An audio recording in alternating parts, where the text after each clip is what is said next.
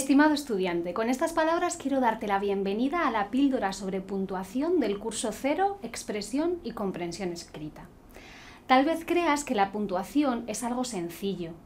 De hecho, lo cierto es que en los colegios no se suele enseñar a puntuar y desde luego no tenemos que memorizar reglas como en el caso de la acentuación o de la ortografía de determinadas consonantes.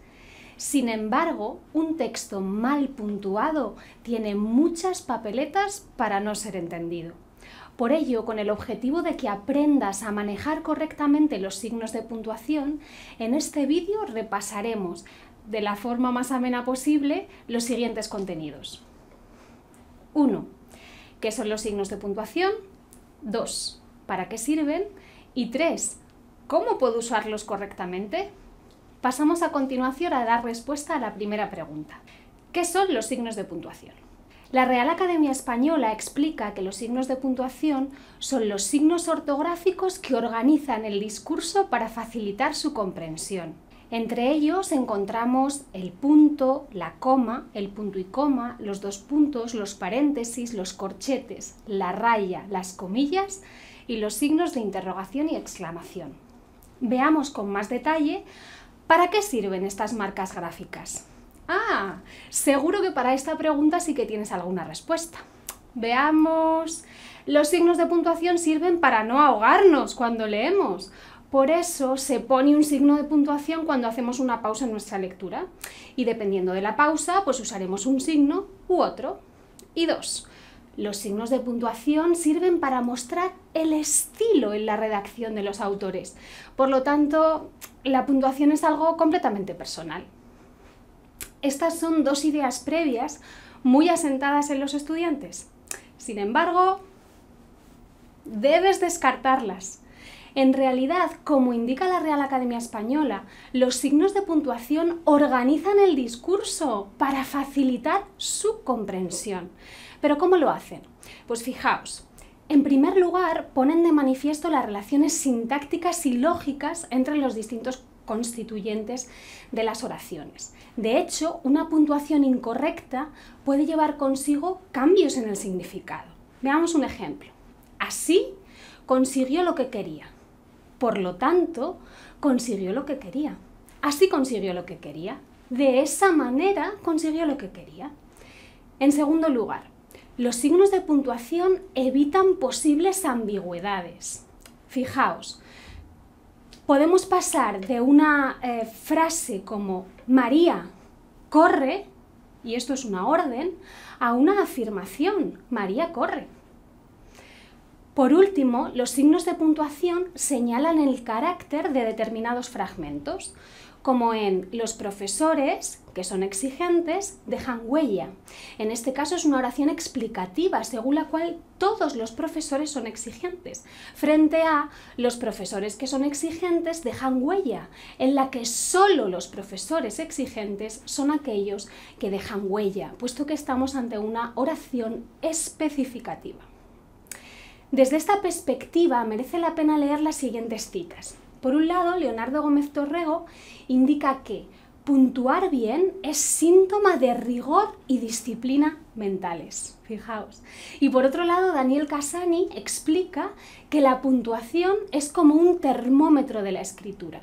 Solamente echando un vistazo a los puntos y las comas de un texto puedes aventurar una idea bastante aproximada de la calidad general de la prosa. Por lo tanto, Cuanto mejor puntuemos, mejor será nuestra expresión escrita. Hasta el momento hemos visto qué son los signos de puntuación y para qué sirven. Ahora me interesa mostrarte cómo puedes usarlos correctamente. Para ello voy a plantearte un reto.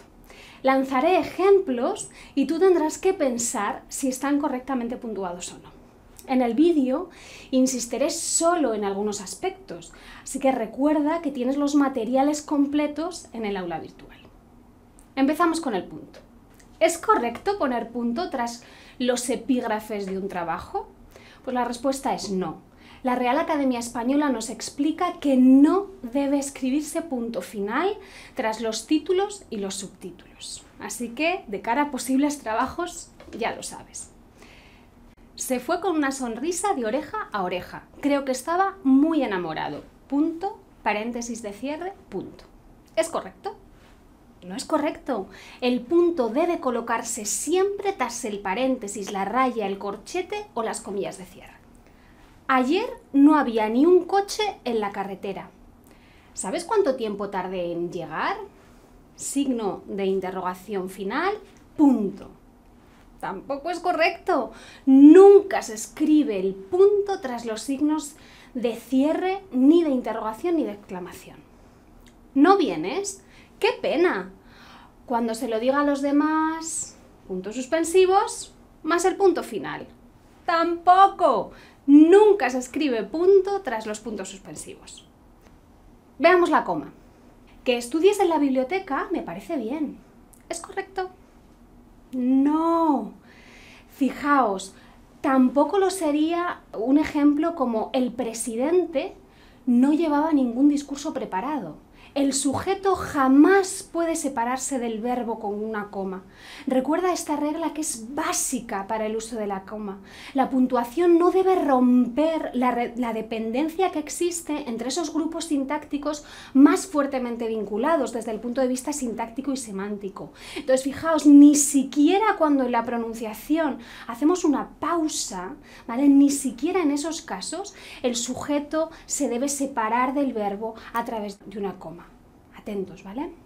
Finalizado el partido, se organizó un gran revuelo en la entrada al metro. Por fin, una correcta. Los incisos, es decir, esos elementos que aportan una precisión, una ampliación, que nos dan circunstancias de lo dicho, sí se escriben entre comas. Sin embargo, al mirar por la ventana, no lo pudo ver. No es correcto. Los conectores discursivos, como sin embargo, se separan mediante esas comas. Es un chico muy reservado, estudioso y de buena familia. Tampoco es correcto. Cuando el último elemento de una coordinación va introducido por una conjunción copulativa, y en este caso o bien disyuntiva, no se escribe coma delante de ella. Así que por favor desconfía de todas las comas que aparezcan delante de e, i, ni, o, u. Pero qué alegría verte. Tal vez lo que te pide el cuerpo es poner una coma después de pero pero qué alegría verte, pero cuánto tiempo, pero coma, contente, contente, ¿vale? Sin coma, este ejemplo está perfecto. Después de pero pueden aparecer dos comas que marcan un, un inciso, ¿vale? Por ejemplo, pero naturalmente nadie puede garantizar el resultado.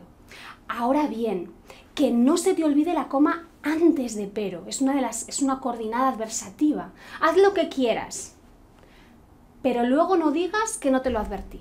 En resumen, nunca olvides la coma delante de pero en las adversativas. Y si hay dos comas después de pero, prueba que estén aislando un inciso. Ahora, si has puesto una sola coma después de pero, revisa tu texto.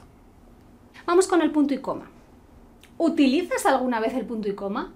Espero que a partir de ahora lo veas útil, porque como explica la RAE, es un signo fundamental para jerarquizar la información y para proporcionar el grado de vinculación adecuado entre los elementos que, que va enlazando.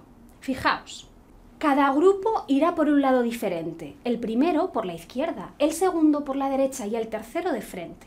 Como ves en este ejemplo, el punto y coma se usa para separar los miembros de las construcciones copulativas y disyuntivas en las que se suceden expresiones complejas que incluyen comas o que presentan cierta longitud.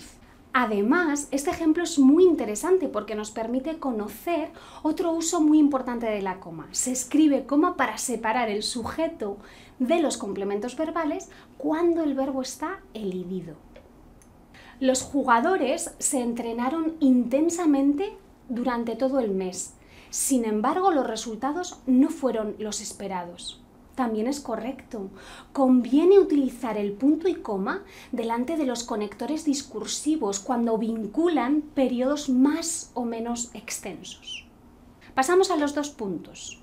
Ayer me compré dos libros, uno de Carlos Fuentes y otro de Cortázar. Es correcto, se escriben dos puntos ante enumeraciones de carácter explicativo, es decir, aquellas que van precedidas de un elemento anticipador, en este caso, dos libros. Patrocinado por Inditex, Caja Extremadura, Atlantis. No es correcto. Debe evitarse la escritura de los dos puntos ante enumeraciones que carezcan de dicho elemento anticipador solo pueden usarse los dos puntos cuando los miembros de la, de la enumeración se insertan en forma de lista. Se requieren dos tratamientos, uno físico y otro psicológico. El primero con un fisioterapeuta y el segundo con un equipo de psicólogos.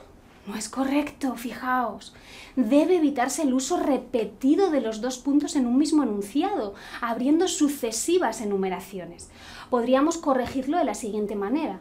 Se requieren dos tratamientos, uno físico y otro psicológico, el primero con un fisioterapeuta y el segundo con un equipo de psicólogos. ¿Qué ocurre con los paréntesis? Manuel procedente de un suburbio hambriento, sucio y mal vestido, no tenía demasiadas esperanzas de que su vida mejorara. ¿Es correcto? Se recomienda usar siempre los paréntesis y no la coma cuando los incisos tienen en su interior otros signos de puntuación de carácter delimitador y así se evitan confusiones o ambigüedades y por supuesto se facilita esa comprensión del texto. El estudio de los signos de puntuación tiene sus complicaciones. No creo que haga falta insistir en ello. Punto, paréntesis. No es correcto. Como vimos arriba, el punto, la coma, el punto y coma y los dos puntos se escriben siempre después del paréntesis de cierre. ¿Y qué hay de los corchetes? Alguna de las últimas novelas que publicó Galdós por ejemplo, El Caballero Encantado, 1909, tuvo muy malas críticas en su época. ¿Es correcto? Cuando dentro de un enunciado que va entre paréntesis es preciso introducir alguna precisión, alguna nota aclaratoria, se usan esos corchetes.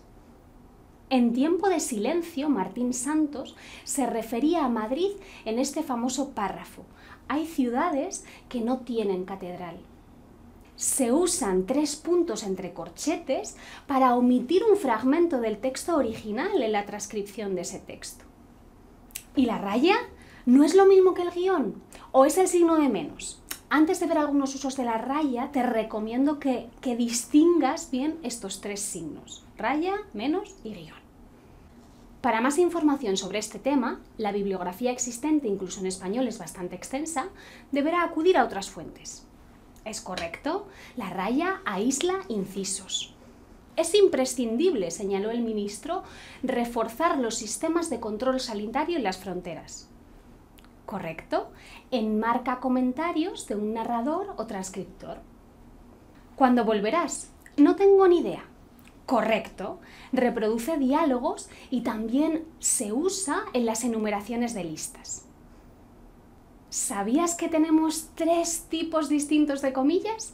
Las comillas latinas o españolas, las inglesas y las simples. Se trata de un signo doble cuya función principal es enmarcar la reproducción de palabras que corresponden a alguien distinto del emisor del mensaje. Antonio me dijo, vaya cacharro que tiene Julián. Es correcto. La RAE recomienda utilizar en primer lugar las comillas angulares, después las comillas inglesas y por último las simples se usarán cuando se deba entrecomillar una parte de un texto ya entrecomillado. Vaya trabalenguas. Signos de exclamación e interrogación. ¿Qué hora es?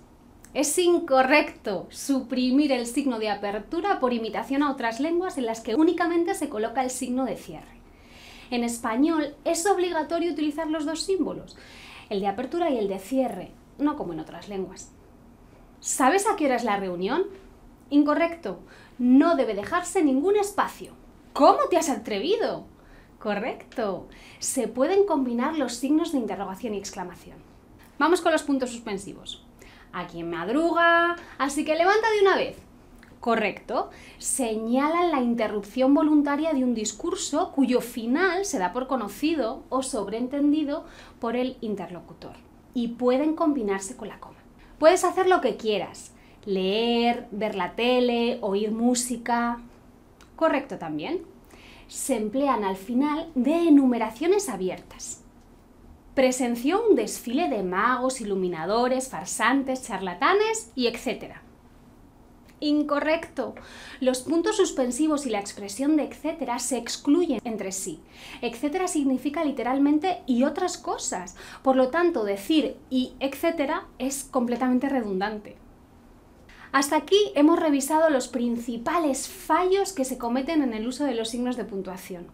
Ojalá te sea útil y muestres con tu puntuación el rigor y la disciplina de tu mente. Un saludo y hasta la próxima. Música